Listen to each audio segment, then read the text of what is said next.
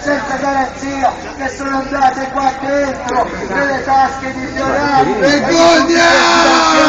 Noi oggi siamo qui per dire occupa la via la pergola, movimento che si è ripreso gli spazi, la libertà contro lo, lo sfruttamento del debito, un movimento che dice basta mettere le nostre vite in vendita per pagare i debiti ai palazzinari, ai banchieri, agli speculatori. Oggi con alle 7 di mattina da parte di decine e decine di carabinieri, il giorno dopo la presentazione dell'esposto alla magistratura dove si diceva indagate su questi stronzi che ci rubano dalla mattina alla sera, che ci tagliano le